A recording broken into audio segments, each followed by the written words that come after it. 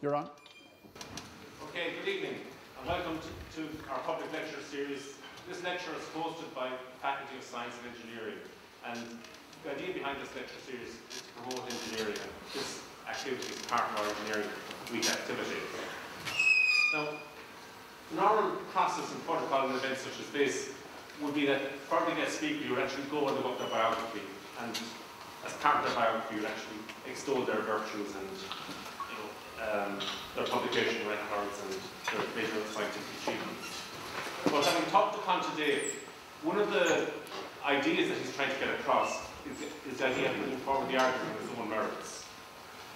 So in that respect, maybe I will leave the description of his achievements to date maybe to the end of the seminar this evening. And in other words, that the argument he presents must stand on its own. The second thing that I notice is that when you look at the first slide that Con presented, there are no embellishments. He's not relying on, on the status of the Faculty of Science and Engineering in terms of a local bottom or the University of Limerick or Professional uh, Society or the Engineers Ireland. Again, I'm not sure whether that's deliberate or not, but again, that, that comes to mind. So with that, the title of the talk is presented, Newton's Legacy to Today's Economic, Ecological and Ecological Crisis. And with that, Thank you very much. Thank you.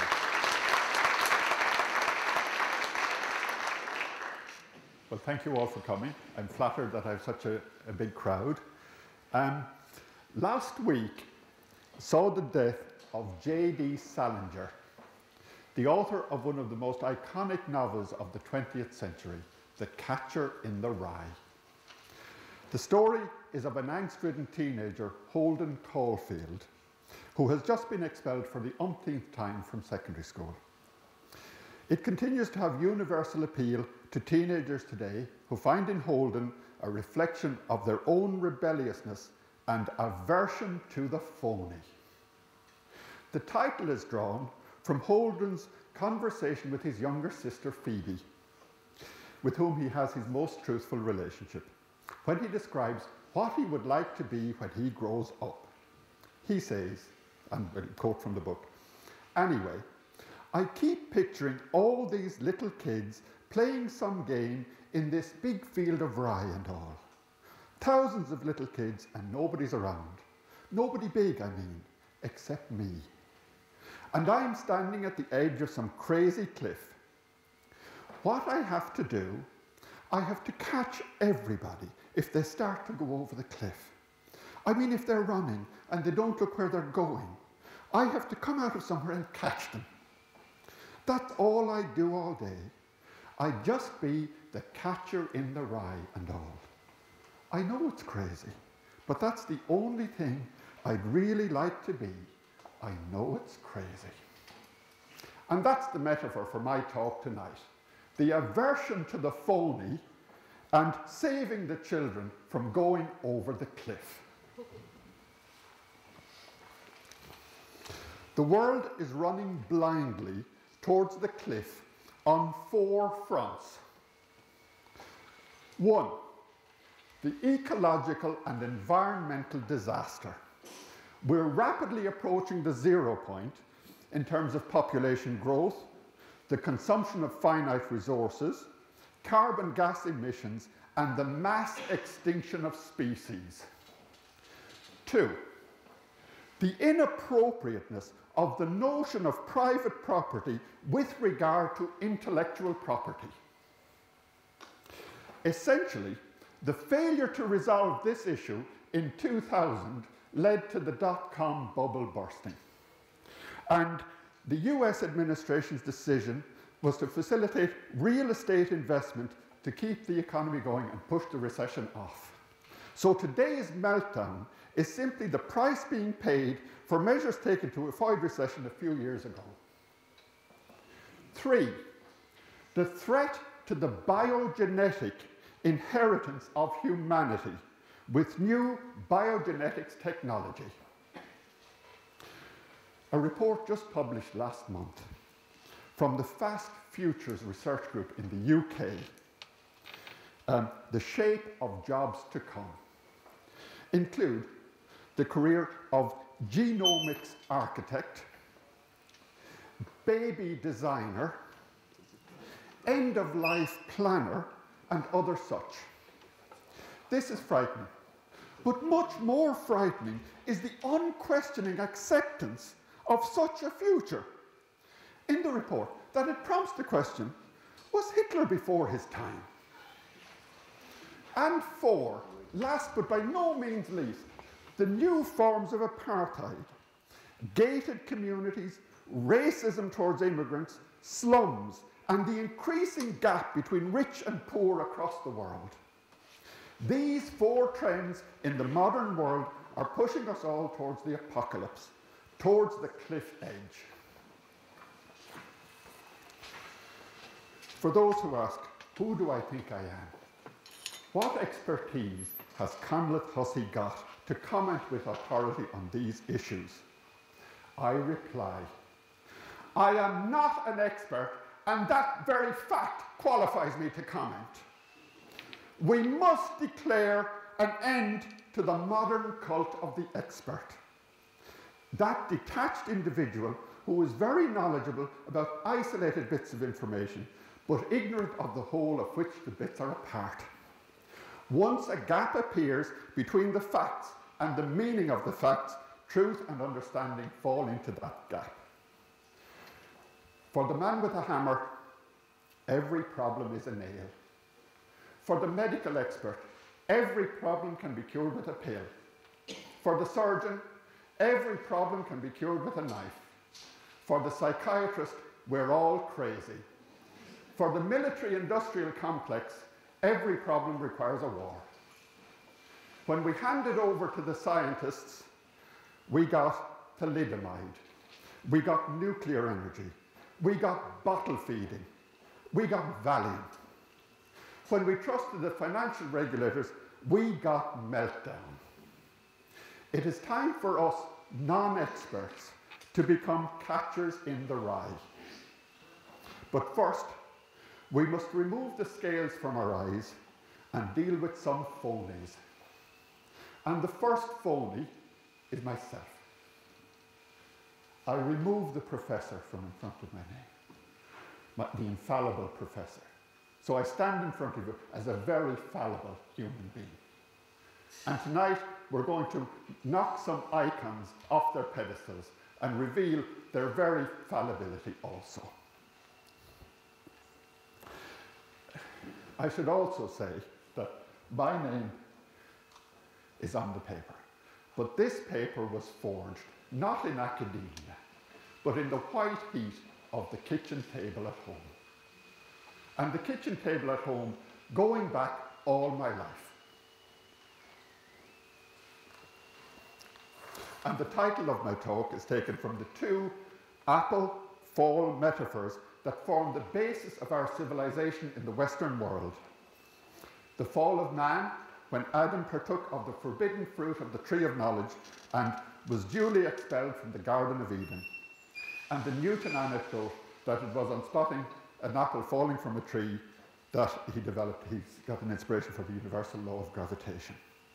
In tonight's talk, it is intended to trace the direct lineage of today's economic, ecological, and ideological crises to the flaws in Newton's methods and theories and their resultant ideology.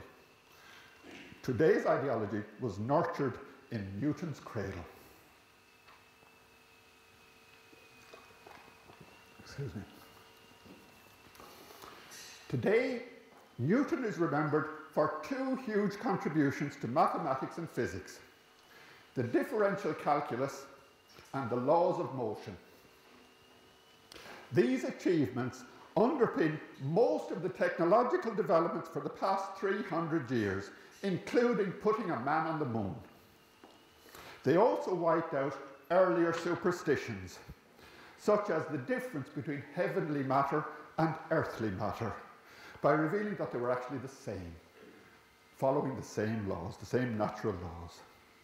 However, these achievements led to a new set of superstitions that we'll now deal with. The calculus was the mathematical attempt to capture the essence of motion. This is an issue that had niggled mathematicians and thinkers since Zeno's paradoxes in ancient Greece. And Newton led the way to elucidating this new mathematics. So we're going to take the example of the instantaneous rate of change of the area of a square with the length of its side to illustrate Newton's method of deriving the differential calculus. So if you look at the blue square, it's of side x, so its area A is x squared. If we increase x by a little bit dx, then we find that the increase in area consists of the two yellow bits, which has an, have area x times dx. So we've two of those, 2x dx, and the little red square up there, dx squared. And if we divide by dx, we get the rate of change of area with x is dA over dx is 2x plus dx. Okay? Now, let's go on to the next slide. Hold, right. The calculus is the attempt to capture the instantaneous rate of change of the area with x at the point where x is equal to x. In other words, that little increment dx is zero. But if dx is zero, the increment in area is also zero. Absolutely. At that point. So dx over x becomes 0 over 0 equal to 2x plus 0. That is absolutely meaningless.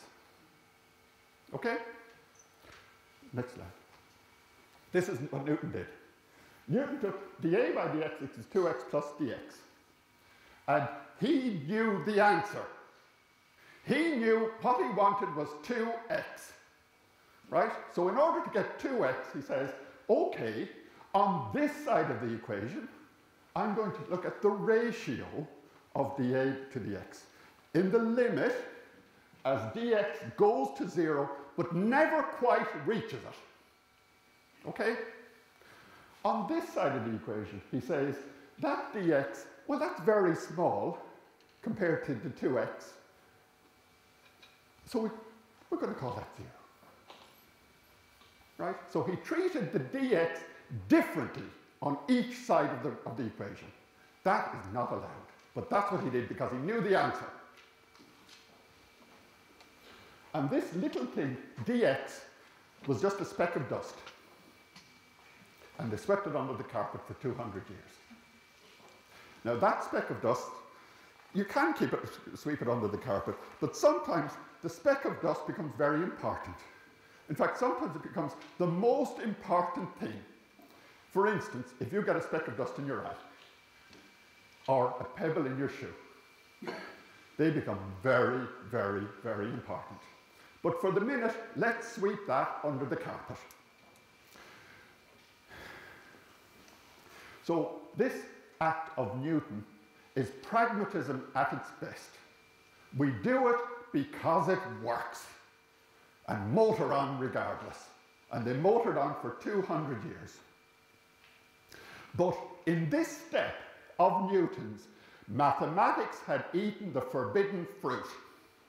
Up until then, mathematics, like Euclid's elements and that, were based on a set of axioms, common sense axioms, and everything was derived exactly and absolutely from that. So this, with this move, the era of absolute validity and irrefutable certainty in mathematics was over.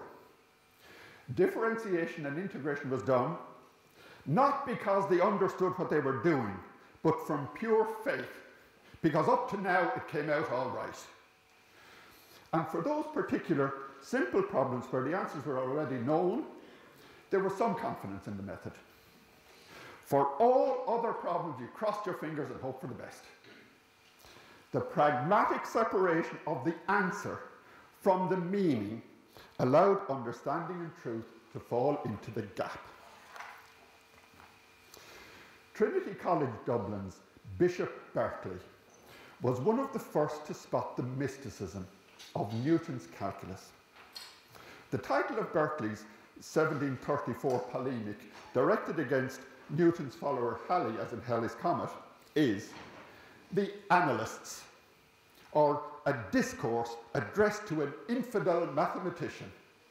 And his point was that if modern mathematicians believed in this, how could they not believe in religious mysteries?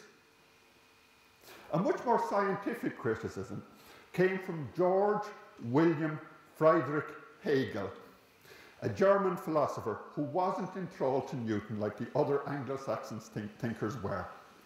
Hegel was the great philosopher of motion and change, so was alert to the inconsistencies in its representation.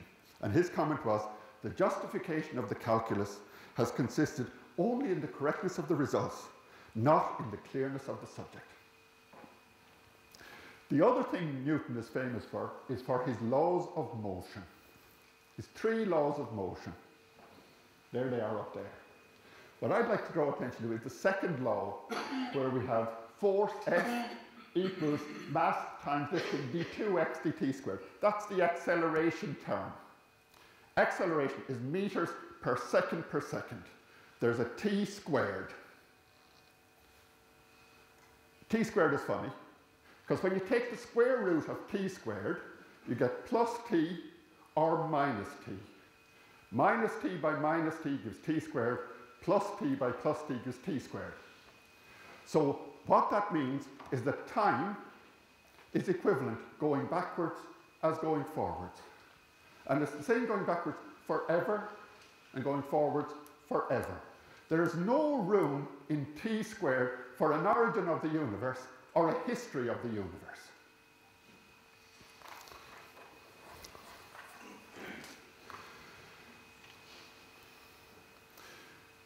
And you're all familiar with the Benjamin Button movie. This is where um, an, an, old man gets younger as the, as the time goes on, right?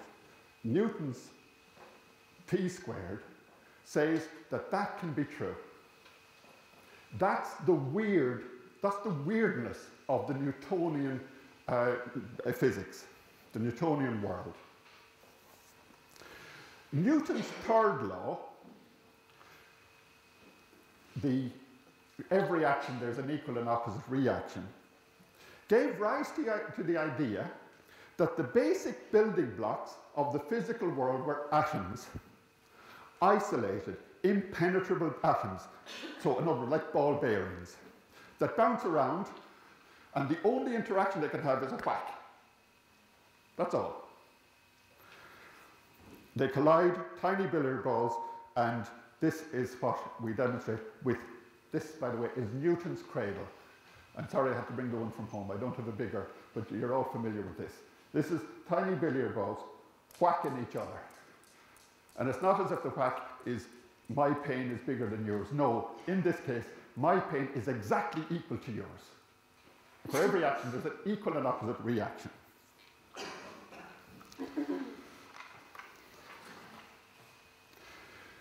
The sheer power and simplicity of Newton's mechanical laws of motion and his empirical methods influenced every key scientific, social, and political thinker of the last three centuries who extrapolated his methodology in an unlimited way to all domains of phenomena. Newton's universal clockwork machine became their model for comparing the state of all things to a precise law-abiding mechanism and for portraying human beings as living machines. Political thinkers compared Newton's colliding atoms and their forces of interaction with the behaviour and interaction of individuals in society as they confront each other in their own self-interest. Hegel was critical of Newton's approach to the calculus and his treatment of forces, and acutely critical of Newton's exhortation to scientists not to think. Newton said, physics, beware of metaphysics. Metaphysics is the study of thinking and how we get to know the world around us. How things in our head correspond to things in the world outside our head. And Newton had said, don't be doing that. So Hegel criticized him for that. But Hegel himself fell into this ahistorical trap of Newtonian physics. In his own approach to the interpretation of the economic life of society, he had single individuals isolated from one another, interact, each of them connected with others only because he has to preserve himself as a single abstract individual, a kind of social atom. In this sphere, opposites remain unmediated, unreconciled. They clash with one another, as we've seen, repulse one another, remaining the same throughout. Real progressive development is therefore prohibited. The economic relation of need and the gratification of need is, is reproduced eternally here. In this view of society, the only possible form of transition to a higher stage in society through reconciling the irreconcilable self-interest of these atoms is the iron rule of law. You had to come in and say, stop, stop fighting. There. That's the only way to stop the interaction. The rule of law with an authoritarian state apparatus. Excuse me.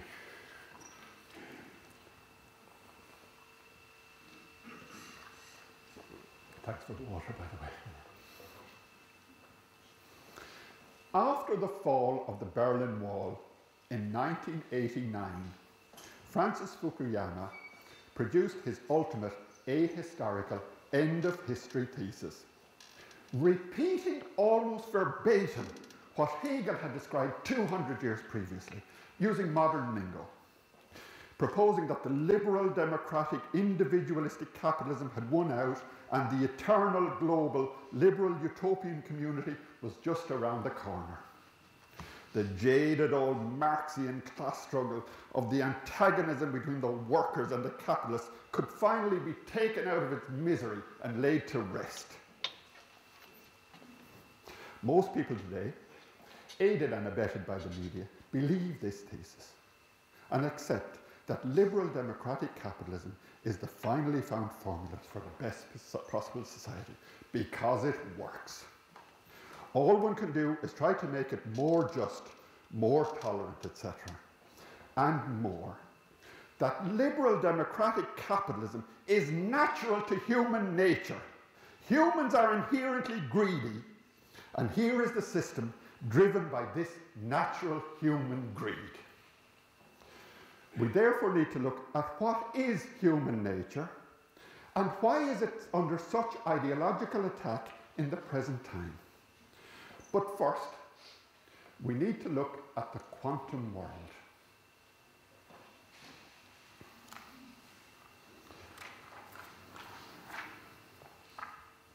We have seen that the Newtonian reality is really weird with regard to time. So how does our best modern picture of physical reality, the quantum picture, measure up? Isn't the quantum theory, that's about tiny particles, subatomic, maybe even if you're lucky if it reaches up to the atomic size? Or is there a quantum phenomenon that we experience in our daily lives? Well, is there? Here's one.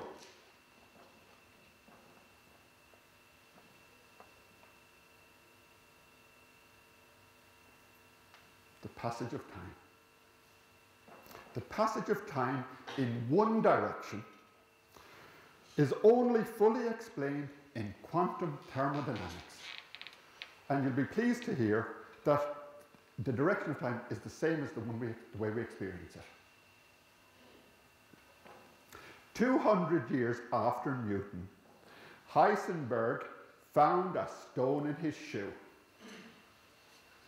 One of the defining aspects of the new physics is the Heisenberg uncertainty relationship, which states that for a quantum entity, we cannot know its exact position and its exact rate of change at the same instant. Isn't this exactly what Newton fudged? Newton's pragmatic step had kept a deeper truth hidden for 200 years. Well, whatever else we say about Newton, he knew where to stumble. He stumbled at the fault line between classical physics and quantum physics.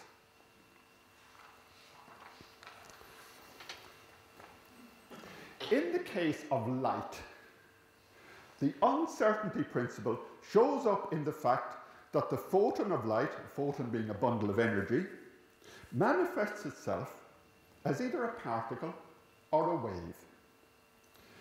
Let us look for an expert opinion. If I am a particle expert and had uh, invested in a particle detecting machine to make my living, I would always measure the photon of light as a particle. If, on the other hand, I was a wave expert and I made my living from a particle or a wave detecting machine, I would always measure the photon as a wave. It is not that we have to learn to accept the photon as it is. It is that we have to accept the photon as we are. The photon is just minding its own business. In the morning, if I'm in a grumpy particle mood, I say, Good morning, Mr. Particle. And in the afternoon, if I'm in a slightly better mood and I wave, he's a wave. This is the famous wave particle duality. There's nothing mystical in this. Here's a Kit Kat. Is it a biscuit or is it a bar? We don't know. We take the wrapper off. We still don't know. It is only when we break the biscuit that it's decided is it a biscuit or is it a bar. If it's broken long ways, it's a bar. If it's broken crosswise, it's a biscuit. the mystical particle duality. How are you? There you are. Nothing mystical about it at all. So we find that this weird quantum world is nearly as weird as the world we live in. It's a very good resemblance, in fairness to it. Now we're ready to look at what it is to be human.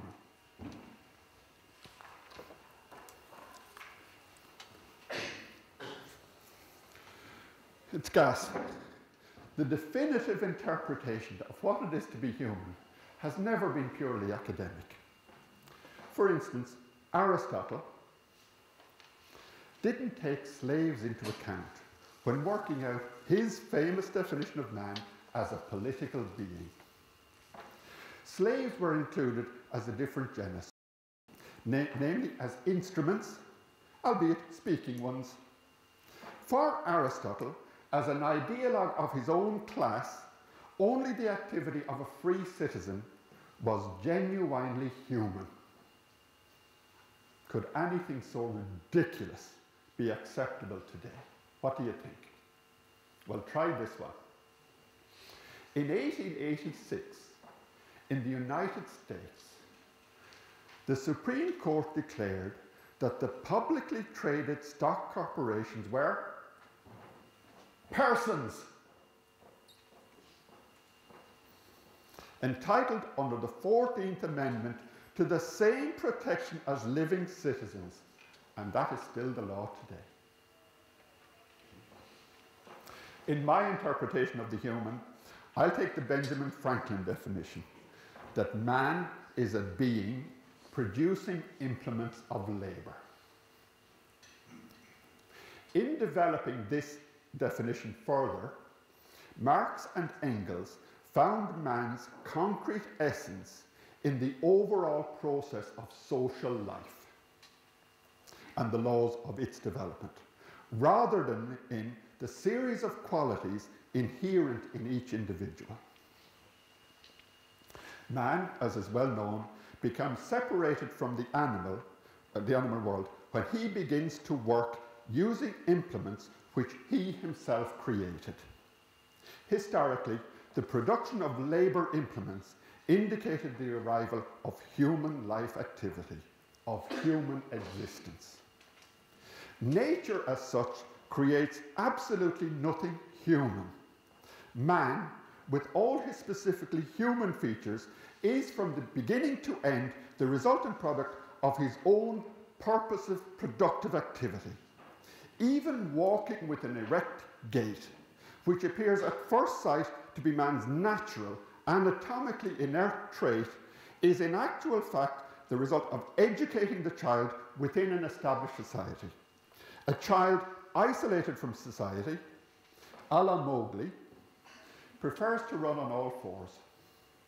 And it seems to take a lot of effort to break him from that habit. A child today is inducted into the human race not by birth, not by being fed, even a rat will feed its children, but by being fed with a spoon. The spoon is the socially significant object that has been developed over millennia by the entire history of the human race. It's magic. In other words, only those features, properties, and peculiarities of the individual that are ultimately the product of social labour are specifically human. Of course, Mother Nature provides the anatomical and physiological prerequisites. However, the specifically human form which they ultimately assume is the product of the labour of society. Conversely, those properties of man that are not the product of labour do not belong to a person's man's essence, like earlobes. It's specifically human, but you wouldn't consider that they're your human essence. So, the jump from Homo sapiens to human is a quantum leap in the very profoundest sense. Man is a quantum entity consisting of a duality of his individual self and his social interaction. And his social interaction includes all of his thoughts, all of his ideas, his concepts, his words. That's all a product of our social humanity. This is completely analogous to the wave particle duality of quantum entities in physics. Thatcher's spine chilling utterance there is no, well, put on the accent, there is no such thing as society. There are only individual men and women, and there are families. Only takes account the one sided individual aspect of man and not his social interactive aspect. This is the one sided individualistic aspect of man. This is the particle like thing. Social atoms, unconnected. Look, there's a steel bar here between them. The only, only interaction is confrontational, selfish, all those words that we use. This is this model. Here's another model. This is where we assume there is some slight, there is some slight connection between the particles. Let's look at the interaction between those particles. Let's set that going. this is a wave-like interaction. They're connected. It's a bit more fluid. It's not confrontation yet. It's one still influences the other. No, no lack of influence there. Non-aggressive. It's an almost spiritual interaction. This is the social interaction aspect of man. This is the individual aspect of man. These are the two quantum parts of man. Capitalism, in its necessary pursuit of profit, is actually depriving man of his essence. It deprives his life, his life of any social meaning. It reduces him to a social atom always at, at odds with his neighbour, in pursuit of self interest and self preservation. Indeed, yes, to succeed in the rat race, you have to be a rat. Thank you, thank you, thank you. This state of the human that capitalism creates has to be presented as the natural state of man. So the one sided theory of man as an isolated social atom is an ideological assault on the root of our very humanity itself. This is what our human, this is what makes us human. This is Homo sapiens. Back to the animal they're driving us. Wouldn't Darwin turn in his grave if he knew that the characteristics that he attributed to the animal kingdom were the last word in human culture at the start of the 21st century? How is our human essence being actually robbed by capital today?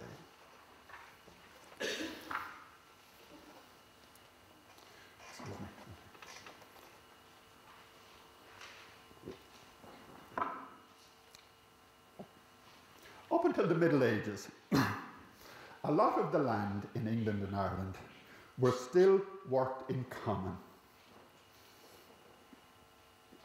in the interests of the whole community. Today, very little commons are left. I think some of the tops of the mountains down in are not worth putting a fence around them. They're still commonage. And sometimes maybe a village green, that might still be a common. In the 17th century, the best land was being fenced and enclosed by the local gentry. And that gave rise to this protest. The goose and the commons. The law locks up the man or woman who steals the goose from off the common, but leaves the greater villain loose, who steals the common from off the goose. The law demands that we atone when we take things we do not own, but leaves the lords and ladies fine, who take things that are yours and mine. The poor and wretched don't escape if they conspire the law to break. This must be so, but they endure, those who conspire the law to make. The law locks up the man or woman who steals the goose from off the common. The geese will steal a common lack till they go and steal it back. This is still going on today.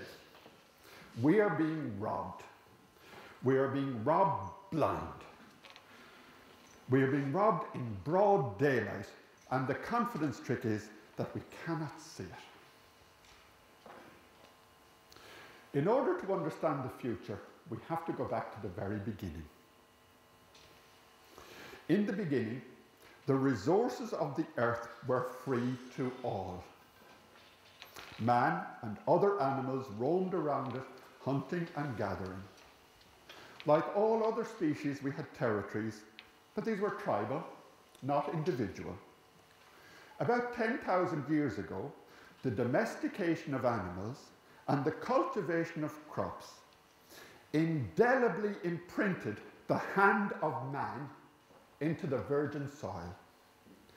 And another quantum entity, land, arose. Land consisting of the virgin earth and the land value, the encapsulated, socially generated knowledge of the human race to that point.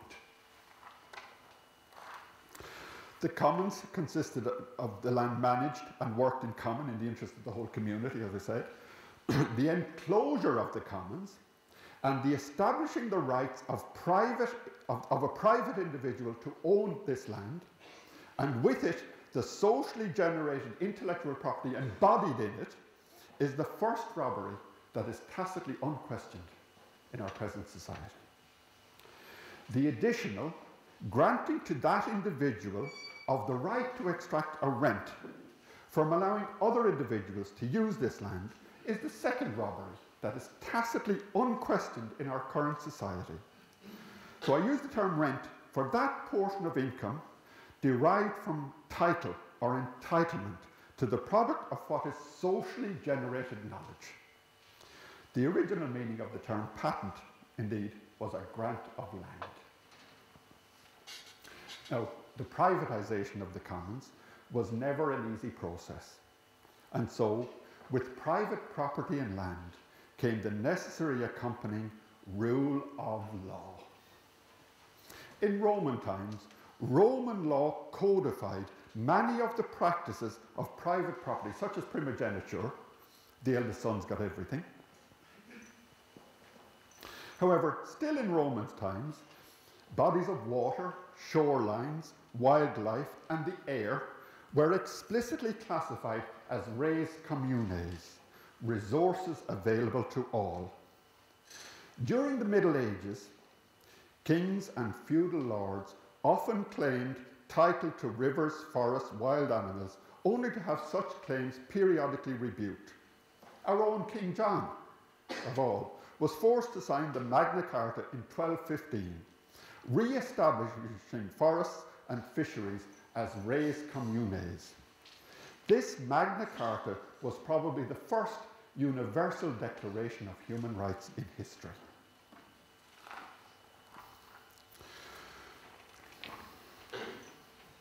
So, what are the additional res communes we need to reclaim today? What embodies the socially generated knowledge of the human race today? What today is the birthright of every human being? The birthright that has somehow been commandeered into private hands in such a sleight of hand that we're unaware of it. There are three streams nature, community, and culture.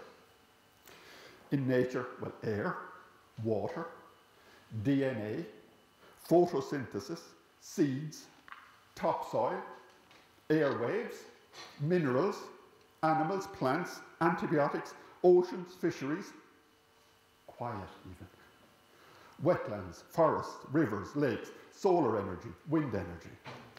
In our community, streets, playgrounds, the calendar, holidays, universities, libraries, museums, social insurance, law, money, accounting standards, if only they'd enforce them, capital markets, political institutions, farmers' markets, flea markets, and culture, language, philosophy, religion, physics, chemistry, musical instruments, classical music, jazz, hip hop, astronomy, electronics, the internet, the broadcast spectrum, medicine, biology, mathematics, open source software.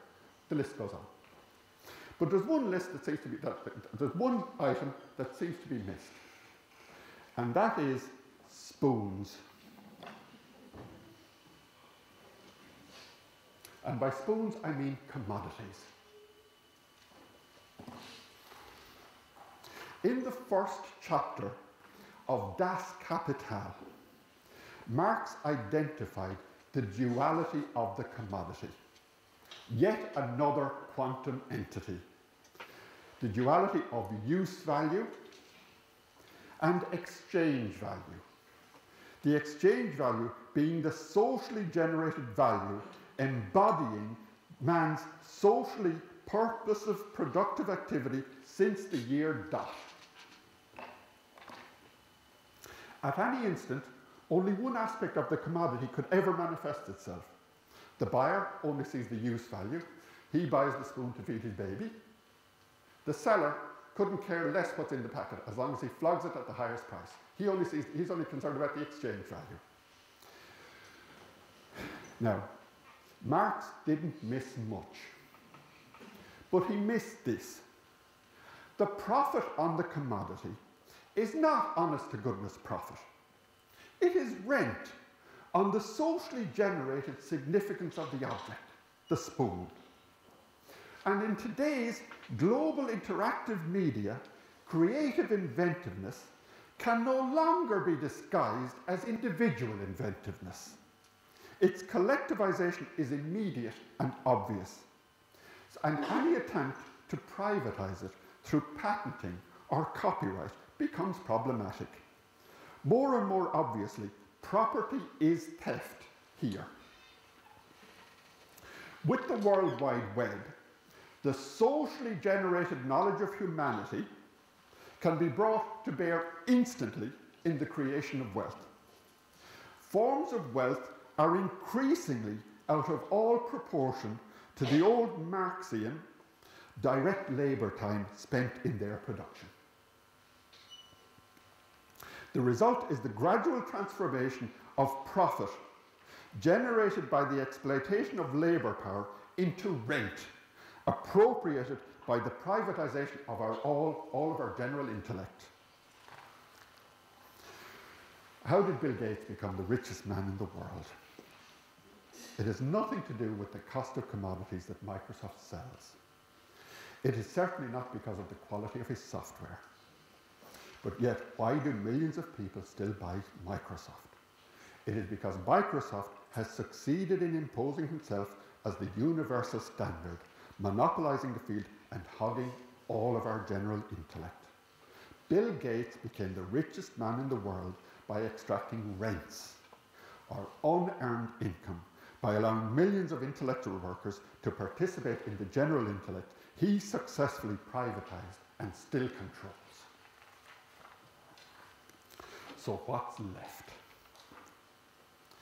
With this reappraisal of Marx, it is important to reject any continuity with what the left meant for the last 200 years.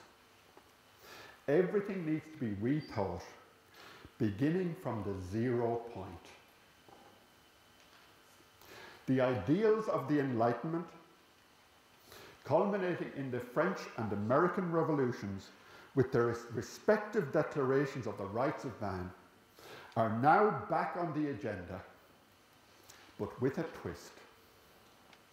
The French revolutionaries understood themselves from the start as a liberation movement that would free people from the metaphorical slavery of the parasitic rent extracting feudal nobility.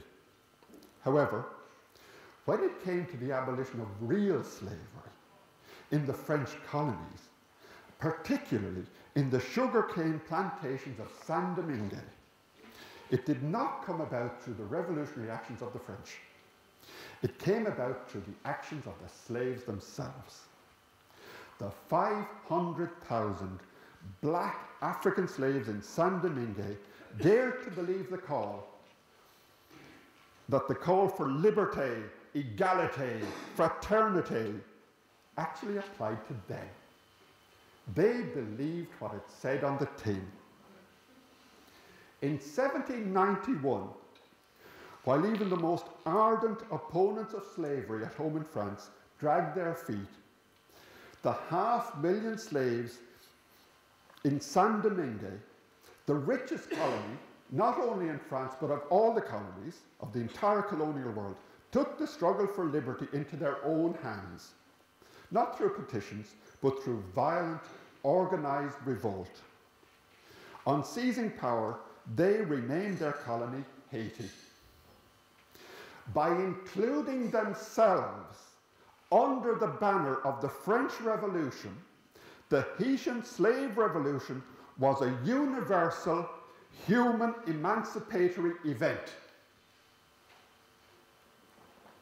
This was one of the most significant universal human emancipatory events since Jesus Christ said, No, there is no chosen people. All men can be saved. 1800 years previously. And that is why Haiti is the zero point from which we must start again. This is the zero over zero of Newton, the fault line between the old parasitic rentier society and the new. If I believed in God, I would ask, could he give us any clearer sign in our hour of need? He has just poked his finger at Haiti as if to say, Wake up, world! Here is the fault line, and here's an earthquake to prove it. In conclusion, if we are to catch our children and prevent them from going over the cliff, if we are really to help the poor people suffering from natural disasters, whether in Haiti or Ireland, if we are to stop the destruction of our planet and prevent the ever widening gap between rich and poor, there's a very simple program to follow. The program is already written and has been signed up by all the major countries of the world for over 60 years. It is called the Universal Declaration of Human Rights, and it was signed in December 1948 after the other apocalypse, the Second World War. It is the most subversive document ever written, provided, like the slaves in Haiti, we dare to insist that it applies to us all, right here, right now. As such, it should be treated as a sacred covenant, behind which all universal human emancipatory movements must be aligned. Article 5.1 of the Universal Declaration of Human Rights reads as follows. Everyone has the right to a standard of living adequate to the health and well-being of himself and his family, including food, clothing, housing, medical care and necessary social services, and the right to security in the event of unemployment, sickness, disability, widowhood, old age, or other lack of livelihood in circumstances beyond his control. Surely we can implement this immediately for the victims of the floods here in Ireland over the winter. We have 300,000 empty properties in the country.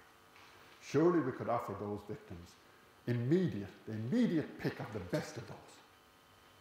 There. If we don't take money into account, if we, if we value our society, surely, there, immediate solution.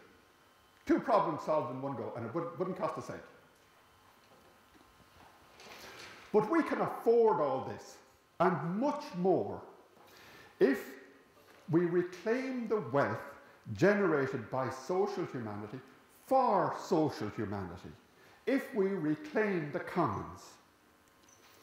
In order to help us hold our nerve, we need to develop a new ideology consisting of a creative dialogue between the new physics and the old philosophy.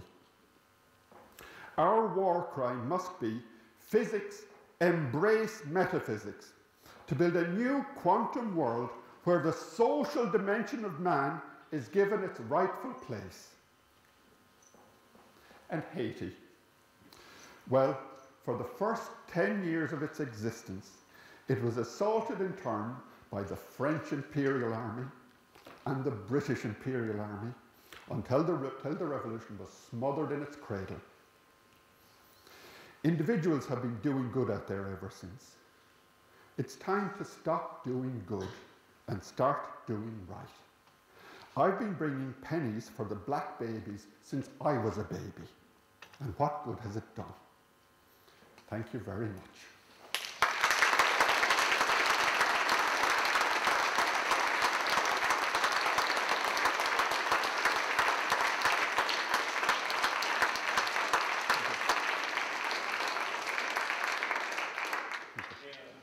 Thank Tom for a very thought-provoking um, lecture. Now I'd like to invite some comments or some questions. You can talk. I'm going to sit down for a minute. I've done enough. So in terms of the ideas presented, I mean, there were, the challenge was to produce that, that Con accepted or that he developed for himself, or the challenge that evolved doing on the picture table as well, was to produce, you know, a thought-provoking um, discourse. Uh, he just, he would be the first part of it. But in terms of the ideas presented, in terms of you know, what is the common, what does that actually entail? And you know, where do we see that do we see that as a different vision for, for the society that we have? So it'd be interesting to have some feedback. There were a few topics mentioned that kind of intertwined themselves very well together. One of them was the idea of the commons, another mentioned was birthright and the Article 5.1 of the Declaration of the Human Rights. Um, one of the aspects I don't feel they address properly is that if you consider that there's a finite amount of land mass in the world, an even less amount that's habitable, uh, and a potentially infinite number of people in the world, then I don't see how you can map uh, the birthright of any one person to a certain amount of land or a certain value. I think you're not able to, to properly map those. You have to look at what they've done, what they've, they, they, what value they can bring to the society that will earn them this. And just why the idea of birthright confuses me. And if you're if you're born and you're, you're fresh faced two weeks old, I don't understand how you can have a right over over something that someone else has created. Uh, perhaps you could share your Could anyone, anyone else like to take that one? Come on. You're good at this.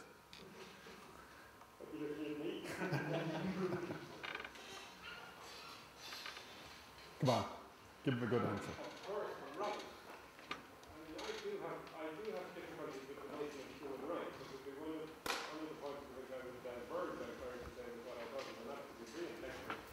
Because I, I think, I wonder why we limit our rights to, to this particular species over other species. Uh, and while I do agree with you, the Universal Declaration of Human Rights wasn't a revolutionary document, I think we're now beginning to appreciate the, limit, the limitations of, of that document. Uh, come on. Mean, Gandhi, when Gandhi was asked, what do you think of Western civilization? His answer was, a nice idea if we tried it. Come on, we haven't tried the Universal Declaration of Human Rights. Let's give it a try. But I think he's embodied in it is a of superiority, which, uh, which I think we have to overcome. Sure. Well, I take, I, I just take a point. Just take two physical, um, two, well, we're trying to represent the metaphysical in that physical context. Yes. And you're trying to, to, and you're representing the physical world that we have with the balls. Yes, yes, yes. Balls, right? Well, the way I see it, Newton's balls are, are, is the world that we have. And we're looking, ev- we're looking at everything through Newton's balls. Every structure we talk about is Newton. Every map we look at is Newton. There is no, there is no, that, that's a map to make it convenient for us to, to locate it. But that is just a part of the globe, which is a part of something vaster, infinitely vaster. Right? Whereas we're looking at, we're looking at, at things as, as they're presented to us. In the, government we have, in the, everything we look at, our colleges, our structures, are gearing us to exactly living that type of living, that type of life. And in fact, everybody is desperately trying to live that type of life, where everybody is helping each other. And the irony of, I mean, you make the comment there about um, our friend Bill Gates, right, which of course is absolutely right. Absolutely true. Absolutely true. You, you it out in, in, languages that you figured out. But in the, in the context of how he has arrived at that, right, why he arrived, right, and look at, look at how he's using his wealth. Look at, he's spending, he doesn't even know how to do it. All these guys haven't a clue what to do. And yet they've, and they've, they've, they've trapped it, right? But yet, it's, there. They're wandering around the globe, posturing and posing as saviors of the world, right? He's so desperate, he's using 20 million, 20, 12 billion for vaccinations, right? And what have vaccinations created? They've created autism at an incredible scale. Know. Right? I'm saying, it's, well, I'm just saying, that, that's, that's, that's my understanding. Is the? No, the was there. The point I'm I'm is, That's, that's a very controversial point, I'll have to do something on that. well, no, that's no, on, I'm- go on. My point is, I see it as misdirected. Good, uh, well-intentioned, um, So basically, what I'm saying is that all, our, all the way we look at things, right, is through that prism, right? When in fact, trying to get to the prism that we metaphysics, or has includes the Gordon, come on.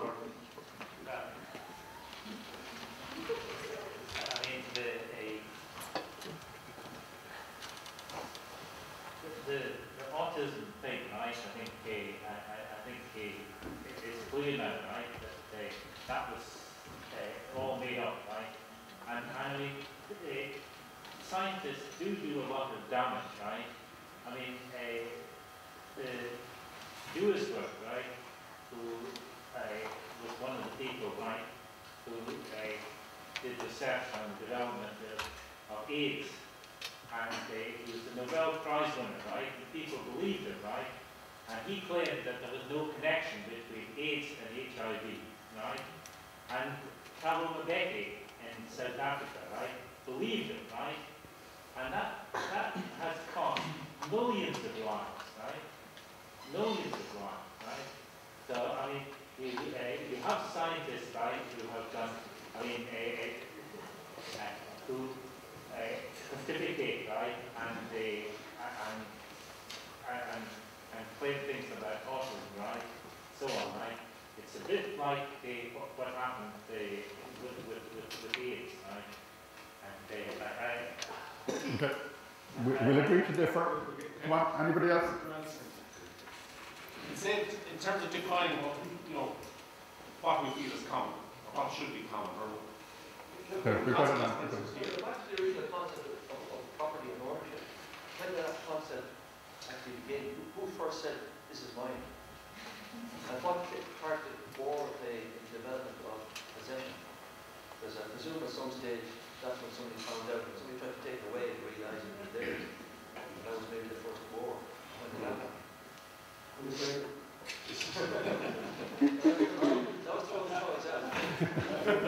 don't know. Have we any historians present?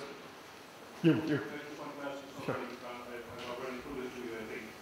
Um, do you think that the Google attempts to, um, to uh, corral all the books of the world and put them on the net, Yeah. is that, is that individualism or is it socialism? No, he's, he's got, they're going to expect a rent. Have access to those in some guise or other. You can be sure of it. They're raiding us blind. I mean, I think so, Yeah. you could see it saying, well, it's fantastic access. Sure, sure, but why extract a rent from that access? It's the rent, is the rent, or give us back the rent, thank you very much. We can use it for useful purposes. rent is being extracted, excuse me, the rent is being extracted via the advertising. Sure, you sure. speak of, uh, it's not, it's Sure. not the person who's getting the book Sure. for free. Sure. But I I'm still worried about the fact that the person who actually produces it is, is being, you know. Yeah, no, but we've got to be careful. If we say, if we accept my human thesis, right, every idea that I have isn't mine. It has come in from the ether. That's what I'm saying. That for me to claim that anything is mine, if I said all of my thoughts, all of my ideas are socially produced, and I'm going to put a patent on it, for God's sake. That's, that's more obvious today than it ever was. But if I could refer you back to your paradigm, from one point of view, you say everything is social. But from another point of view, there's, there's, there's the creative, there's the individual creative side as well. Which in some way has to be encouraged if you're going to have creativity in all. I mean, I think that's, I mean, I think this, this story goes back, I think, Sure. a long time. I don't think reward is ever, or money, or reward of that is the reward for creativity. Reward for creativity is, here's the object. Done. Uh, the, the, the, the difference, and I agree with this man's point, right? The difference is that we all have different values. We all value things differently. And we are prepared to, to, to we're, we're, prepared prepared to pay totally different values for different things for every individual. So every individual actually decides the value of things. It's not, it's not the shop that decides the value, you decide the value. It's the concept of utility. Yeah, you got useful. How useful is that to me? And how much am I prepared to pay for that? Somebody is prepared to pay two, bucks for the thing that I'm prepared to pay a hundred bucks. So therefore, the values, it's value you're talking about, it's not cost. And everybody has a different value. It's the fact that the individual, that's what comes back to the, that's where individuality is critical. Right? Because everybody has a different position. Am I looking at a wave? Am I looking at a particle? Everybody, the individual is deciding that. Just on the idea of commons and this kind of idea that if you share everything, it's kind of great. Um, if you think about back to why the original kind of enclosures happened, it was so that you could better improve the breeding stock and things to keep the animals the same, so you could selectively husband the animals, and that led to kind of a greater societal aggregation of benefits, which led to the agricultural revolution, which led to all these benefits. I would be willing to argue that intellectual property has led to a similar aggregation of societal benefits insofar as people are willing to invest behind ideas, are willing to put the money behind things. Like ideas like Facebook needed an, an initial investment like 450 million euro, and that has led to things, a greater societal benefit, international interconnectedness. I think that you can't just devoid these kind of societal benefits and say it's purely an individual thing and these individuals benefiting from it is a bad thing. I think if individuals are doing something that's in a societal good, they should get a reward for that. Well, it's been decided by what people are prepared. Right. Pat, Pat, well, I think the whole return of the commons to the community, it was tried, but remember, um, all animals were equal, but some were more equal than others. Maybe the cons might be, maybe then it wasn't right. No, I think, no, I think in all fairness, we're humans. We engage in experimentation. And we should have unreservedly the attitude of Samuel Beckett when he said, try again, fail again, but fail better.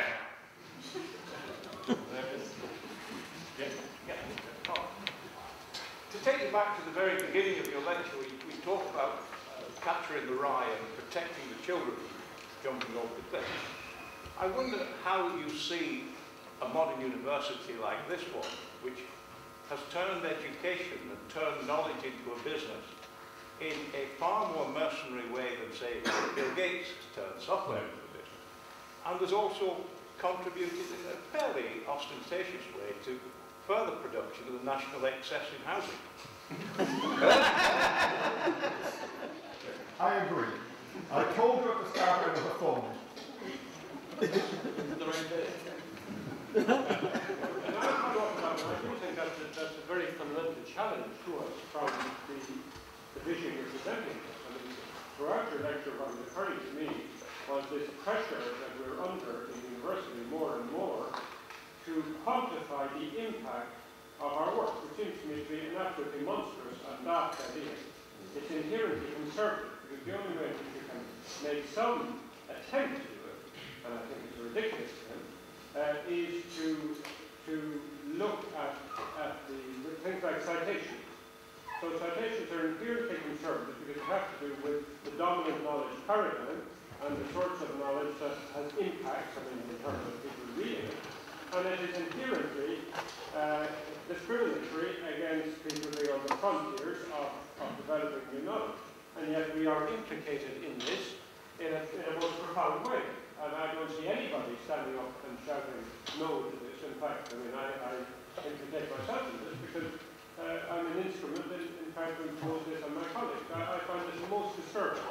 And I feel you have provided us with uh, a profound revolutionary understanding that the basic, our understanding of the physical universe itself is leading us towards a totally different understanding of knowledge and knowledge generation and, and the social, of, of the socialized basis of who we are. I totally agree. Yeah. yeah, I think we are under pressure to publish, publish or perish. No matter how, much rubbish we publish. And we all collude. No question. So, hypothetical situation, if the black slave vote had been successful, would they have been morally obliged to hand that island back to the indigenous population and sail back to West Africa? Or would they have? No, no, So you believe No, in preference? no, I, I'll tell you this.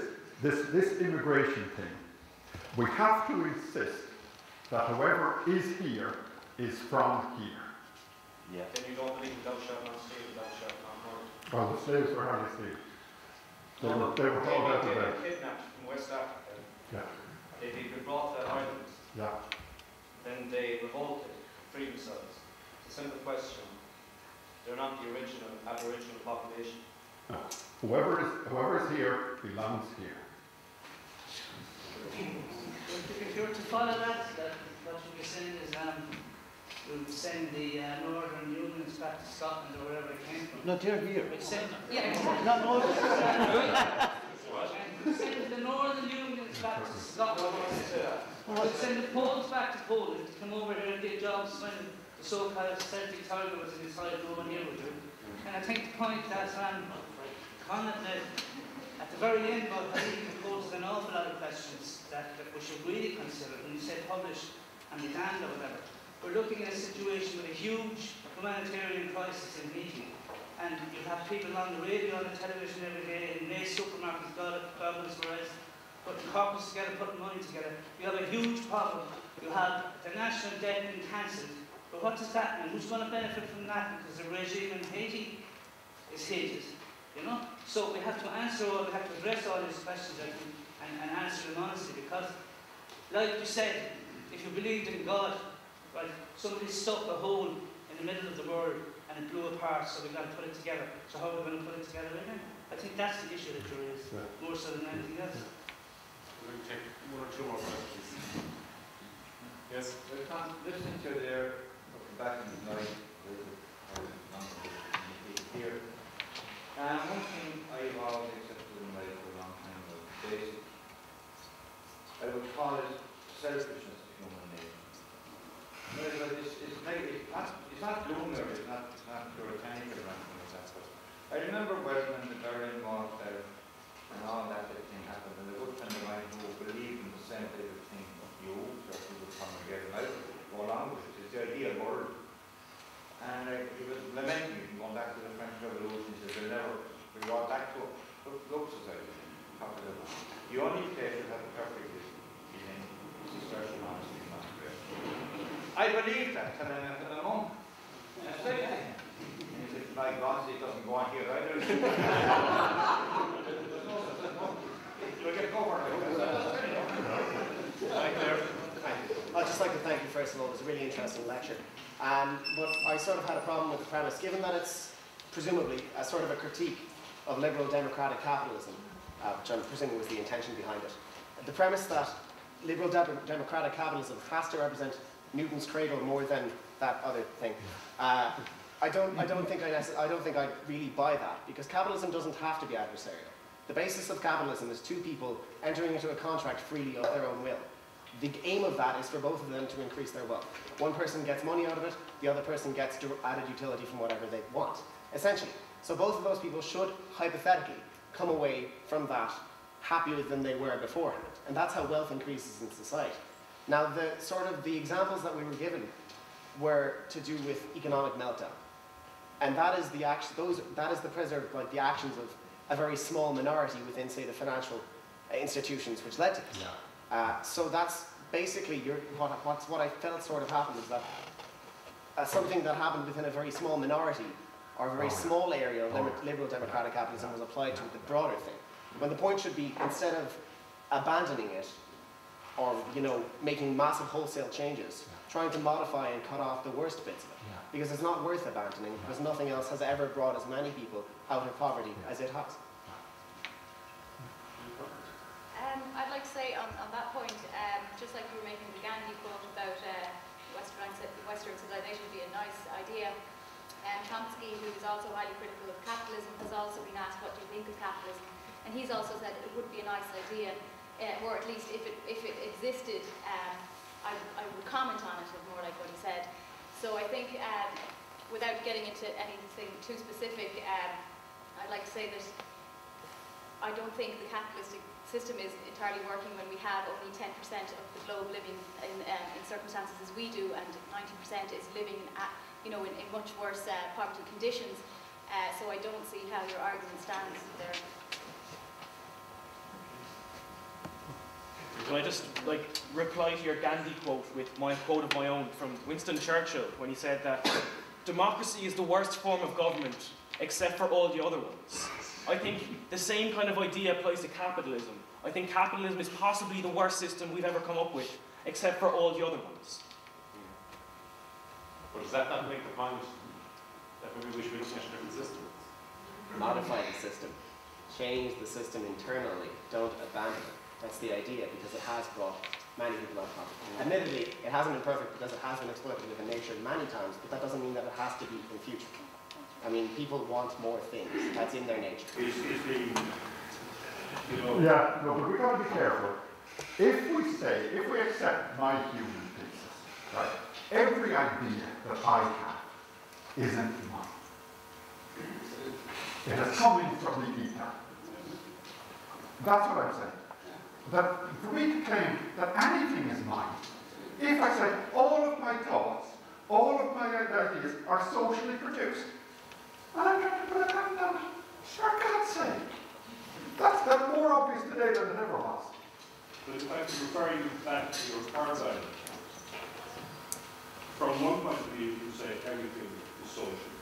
But from another point of view, there's, there's, there's the creative, there's the individual creative side as well, which in some way has to be encouraged if you're going to have creativity and all. I mean, I think that's, I mean, I think this, this story goes back, I think, Sure. a long time.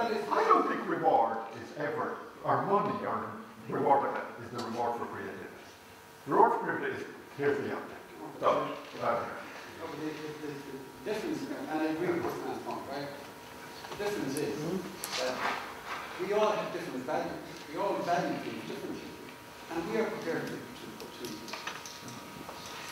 we're, we're, we're prepared, prepared to pay totally different values for different things for every individual. So every individual actually decides the value of things. It's not, it's not the shop that decides the value, you decide the value. It's the concept of utility. Yeah, exactly. Useful. You- How useful is that to me? And how much am I prepared to pay for that? Somebody is prepared to pay two, two bucks for the thing that I'm prepared to pay a hundred bucks. So therefore, the values, it's value you're talking about, it's not cost. And everybody has a different value. It's the fact that the individual, that's what comes back to the, that's where individuality is critical. Right? Because everybody has a different position. Am I looking at a wave? Am I looking at a party? Everybody, the individual is deciding that. Just on the idea of commons and this kind of idea that if you share everything, it's kind of great. Um, back to why the original kind of enclosures happened, it was so that you could better improve the breeding stock and things to keep the animals the same, so you could selectively husband the animals, and that led to kind of a greater societal aggregation of benefits, which led to the agricultural revolution, which led to all these benefits. I would be willing to argue that intellectual property has led to a similar aggregation of societal benefits insofar as people are willing to invest behind ideas, willing to put the money behind things. Like ideas like Facebook needed an, an initial investment like 450 million euro, and that has led to things, a greater societal benefit, international interconnectedness. I think that you can't just devoid these kind of societal benefits and say it's purely an individual thing and these individuals benefiting from it is a bad thing. I think if individuals are doing something that's in a societal good, they should get a reward for that. Well, it's been decided by what people. Right. Can, uh, well, I think the whole return of the commons to the community, it was tried, but remember, um, all animals were equal, but some were more equal than others. Maybe the cons might be, maybe then it wasn't right. No, I think, no, I think in all fairness, we're humans. We engage in experimentation. And we should have unreservedly the attitude of Samuel Beckett when he said, try again, fail again, but fail better. To take you back to the very beginning of your lecture, we, we talked about uh, catcher in the rye and protecting the children from jumping off the cliff. I wonder how you see a modern university like this one, which has turned education and turned knowledge into a business in a far more mercenary way than, say, Bill Gates has turned software into a business. And there's also contributed in a fairly ostentatious way to further production of the national excess in housing. I agree. I told you at the start of the phone. the right day.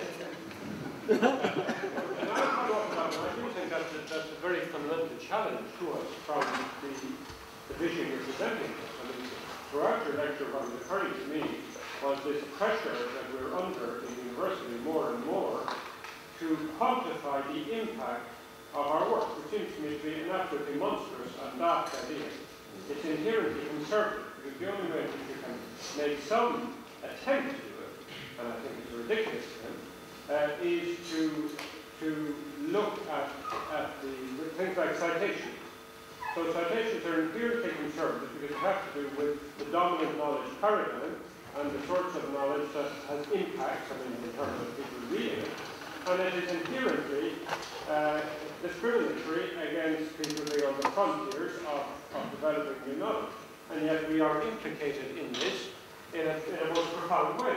And I don't see anybody standing up and shouting no to this. In fact, I mean, I, I implicate myself in this because uh, I'm an instrument in, in trying to this on my colleagues. I, I find this most disturbing. And I feel you have provided us with a profoundly revolutionary understanding that the basic, our understanding of the physical universe itself is leading us towards a totally different understanding of knowledge of knowledge generation, and, and the structure of, of the structuralized basis that we are, I totally agree. Yeah, I think we are under pressure to publish, publish or perish. No matter how rubbish we publish. And we all collude. No question. So, hypothetical situation, if the black slave revolt had been successful, would they have been morally obliged to hand that island back to the indigenous population and sail back to West Africa? Or would they have sailed? No, no, So you believe No, in national park? no, I, I tell you this, this, this immigration thing, we have to insist that whoever is here is from here. Yeah. Then you don't believe in thou shalt not steal, thou shalt not murder? Well, the slaves were hardly slaves. They were, they were told that They've to been kidnapped from West Africa. Yeah. They've been brought to that island. Yeah. Then they revolted, freed themselves. It's a simple question. They're not the original Aboriginal population. No. Whoever is, whoever is here belongs here. If if you were to follow that, that what you were saying is, um, we'll send the uh, Northern Unions back to Scotland or wherever they came from. No, they're here. We'd send, yeah, exactly. Not Northern. And we'd send the Northern Unions back to Scotland. We'd send the Poles back to Poland to come over here and get jobs when the so-called Celtic Tiger was inside Roman here would do. And I think the point that, um, Conrad made at the very end, but I think it poses an awful lot of questions that, that we should really consider when you say publish and be damned or whatever. We're looking at a situation with a huge humanitarian crisis in Haiti. And you have people on the radio, on the television every day, in May supermarkets, God- for us, putting corpus together, putting money together. You have a huge problem. You have the national debt being cancelled. But what does that mean? Who's going to benefit from that? Because the regime in Haiti is hated. You know? So we have to answer all, we have to address all these questions think, and, and answer them honestly because, like you said, if you believed in God, right, somebody stuck a hole in the middle of the world and it blew apart, so we've got to put it together. So how are we going to put it together again? I think that's the issue that you raise, more so than anything else. We're going to take one or two more questions. Yes? Well, Tom, listening to their, back in the night, I was not here. Um, one thing I've always accepted in life for a long time was basic. I would call it selfishness of human nature. Well, it's, not, it's it's not, it's not puritanical I remember when the Berlin Wall fell and all that thing happened, and a good friend of mine who believed in the same type of thing of you, that we would come together, and go along with it, it's the ideal world. And uh, he was lamenting, going back to the French Revolution, he said, they'll never be brought back to a low society, capitalism. The only place that has a perfect is in is the social honesty and transparency. I believe that, and then after the monk, and I said, and he said, my God, it doesn't go on here either. You'll get over I'd just like to thank you first of all. It was a really interesting lecture. Um, but I sort of had a problem with the premise, given that it's presumably a sort of a critique of liberal democratic capitalism, uh, which I'm presuming was the intention behind it. The premise that liberal de democratic capitalism has to represent Newton's cradle more than that other thing. Uh, I don't, I don't think I, I don't think I really buy that because capitalism doesn't have to be adversarial. The basis of capitalism is two people entering into a contract freely of their own will. The aim of that is for both of them to increase their wealth. One person gets money out of it, the other person gets added utility from whatever they want, essentially. So both of those people should, hypothetically, come away from that happier than they were beforehand. And that's how wealth increases in society. Now, the sort of the examples that we were given were to do with economic meltdown. And that is the action, those, that is the preserve, like the actions of a very small minority within, say, the financial institutions which led to this. Uh, so that's basically your, what, what's, what I felt sort of happened is that uh, something that happened within a very small minority or a very small area of liber- liberal democratic capitalism was applied to the broader thing. When the point should be instead of abandoning it or you know making massive wholesale changes, trying to modify and cut off the worst bits of it. Because it's not worth abandoning because nothing else has ever brought as many people out of poverty as it has. Um, I'd like to say on, on that point, um, just like you were making the Gandhi quote about uh, Western, Western civilization be a nice idea. Um, Chomsky, who is also highly critical of capitalism, has also been asked, what do you think of capitalism? And he's also said it would be a nice idea, uh, or at least if it, if it existed, um, I, I would comment on it, more like what he said. So I think, um, without getting into anything too specific, um, I'd like to say that I don't think the capitalistic system is entirely working when we have only 10% of the globe living in, um, in circumstances as we do, and 90% is living in, you know, in, in much worse uh, poverty conditions. Uh, so I don't see how your argument stands there. Can I just like reply to your Gandhi quote with my quote of my own from Winston Churchill when he said that democracy is the worst form of government except for all the other ones.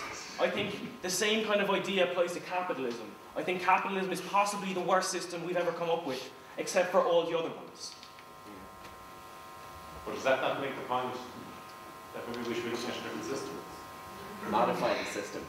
Change the system internally. Don't abandon it. That's the idea because it has brought many people out of poverty. Admittedly, it hasn't been perfect because it has been exploitative in nature many times, but that doesn't mean that it has to be in future.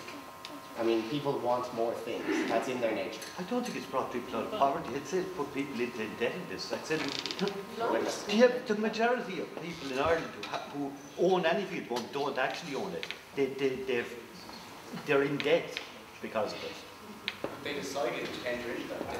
No one forced their hand. No one, no one put them into a post and told them they were forever a big man and then a big rest. They decided voluntarily. And now, unfortunately, it has not turned out right for them. But no one forced their hand. They made the decision. The consequences are unfortunate. But I would still prefer to have the freedom to make the decision. Okay. You going to do? You going to do your job? There's no question. Yeah. Okay. Maybe uh, just the final point. Um, so introduce Con at the end of the discussion. Con is Professor of Lightweight Technology. He's also head of the Department of Material Science and Technology here at the University of Dublin.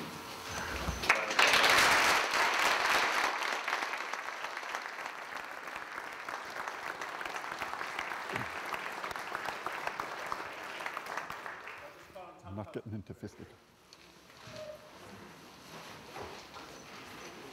Small notebook, so I have to continue.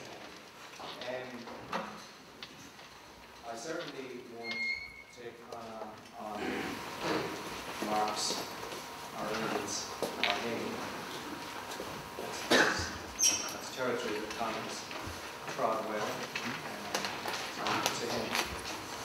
Uh, but I take courage nevertheless uh, in, in that Colin has said um, I'm not an expert, and that is what qualifies me to comment.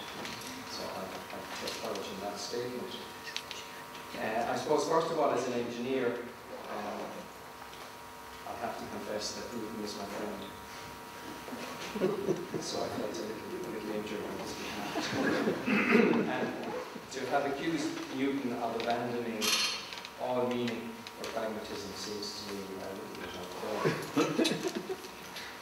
Uh, he can hardly be blamed if his achievements led to countless including politicians and sociologists and other scientists, uh, to that place of pride in seeing themselves as either masters of the universe, including the gene and the environment and the market, or alternatively, as clockwork automatons in a meaningless universe.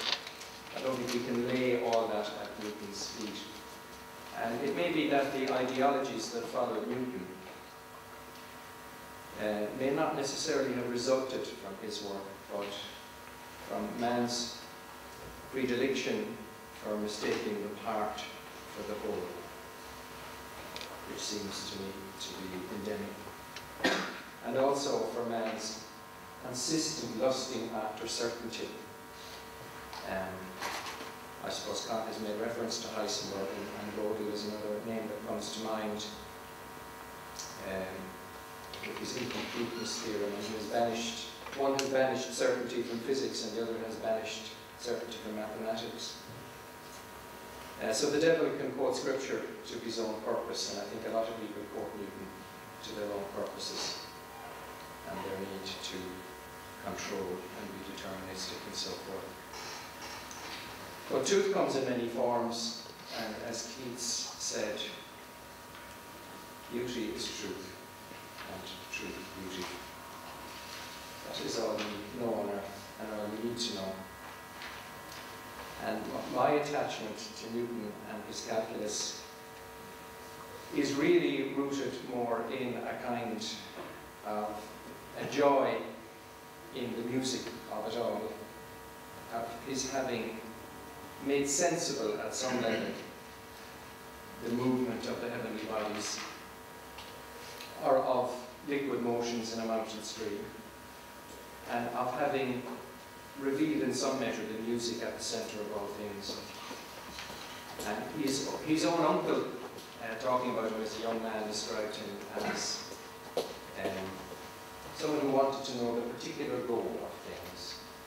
And in his own old age, he said of himself, uh, I do not know what I may appear to other men, but to myself I seem to have been like a little child playing on the seashore and finding a shinier pebble or a prettier shell than ordinary, while all before me the great ocean of truth lay undiscovered. And for me, surely these are not the words of somebody who felt he had said the last deterministic word on the whole universe. Surely here there is curiosity and wonder and even humility. So if man has fallen, I think we cannot blame Newton. He falls every day. And perhaps he will continue to fall until he approaches the ground of his being a bit more closely. And maybe he has to get on his knees to do that. I recall Father Aengus Finucane many years ago at the time, I think it was at the Ethiopian famine that first moved Bob Geldof to that great festival of pop music. And he was confronted with the, the senseless chaos of the whole situation, where these vast numbers of people were in unspeakable misery, hundreds of miles, just hundreds of miles away from other parts of the globe where there was um, abundance, and he simply couldn't make sense of it all. And the only notion with which he could approach this reality was to say that we are a fallen race. We are in a state of confusion. um, it seems to me that destiny can be divorced from character, and to alter one involves facing the other. And we wonder sometimes if the sum of all the confusion adds up perhaps to something more than all these individuals, all these particles standing off each other, all these individual failings individuals. And for me, the only image that is adequate to express the source of all the confusion, whether one, whether one assents to it in a literal sense. At the beginning of the book of Job, um, the devil appears before God, and God says to him, uh, Whence camest thou? And he says, From going to and fro in the earth, and walking up and down upon it. And one senses this presence of confusion of the Father of lies coming and going amongst us, this malevolence laughing at the visible confusion of mankind. But our blindness cannot be cured until we know we're blind. And St. Paul was blind long before he set out on the road to Damascus. So at the end of those few thoughts, I say somewhat surprisingly that I find myself in violent agreement with the thrust of tonight's address, with the conviction of the wrongness of things, and with the responsibility of each of us for engaging with the big issues as individuals, families, and communities. Integrity leads to effective action, and what we do cannot be separated from what we are. So in proposing the vote of thanks, I wish therefore to propose that thanks be given not to Con, but to the Almighty for. For his.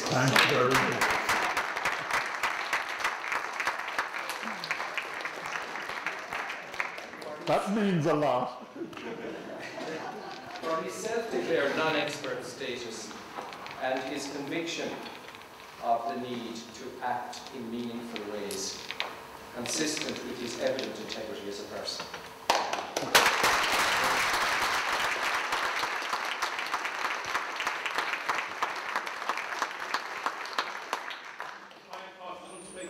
Just hand you hand you, um, uh, a flyer for another presentation. It's on here Wednesday evening at 6.30 and it's Katie Quaiso Poor. It's just coincidental.